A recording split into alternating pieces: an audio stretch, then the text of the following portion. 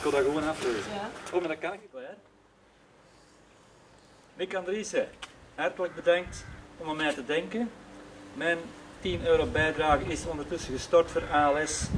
En ik ben zo vrij de volgende drie dames te nomineren voor de ALS Ice Bucket Challenge. Karin Kouwenberg, onze lokale schepen van onderwijs. Kim Buist, onze lokale vinger aan de groene pols. En Elfje Willemsen, onze lokale Olympische bobsliptrots.